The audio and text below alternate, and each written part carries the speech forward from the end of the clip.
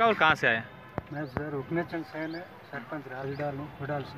क्या मामला है आज इकट्ठे होकर आए मामला ये है सर तेरह तारीख की रात को हमारे गाँव खुडाल में ओम प्रकाश सनोप जगदीश प्रसाद उनके घर में रात में अज्ञात लोग घुस के और चोरी करी एक बक्सा ले गए जिसमें साढ़े तीन लाख लगभग रोकड़ और सोने की जेवरात थे मूल कागजात थे ले गए। सीसी टीवी कैमरे के अंदर उनकी दो जने थे दोनों की तस्वीरें उसमें कैद हैं।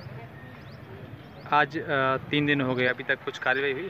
कार्रवाई पुलिस आई थी मौके पर हम्म। और पुलिस के एक मुंशी जी और एक और कांस्टेबल था। वो दोनों के पैरों के निशान उनकी जो बस्ती है भरियाड़ा हम्म। वहाँ तक पैरों के निशान पहुँचे। फिर उनकी पूछताछ की तीन जनों को उन्होंने अरेस्ट करके लाए थे कल उनको छोड़ दिया। अब क्या चाहते हैं आप? अब जो दोषी है उनको पकड़ा जाए हम्म। और माल जो है वो बरामद किया जाए। हम्म। तो इतनी बड़ी रकम घर में रखने का क्या कारण रहा होगा? कारण तो वो क्या कि उनकी कोई बेरा है ट्यूबवेल। तो उनकी जो फ़सल के पैसे। फ़सल की राशि उनके घर में रखी हुई थी और बाद में कोई अभी फ़सल के लिए ठीक। देने के लिए रखी।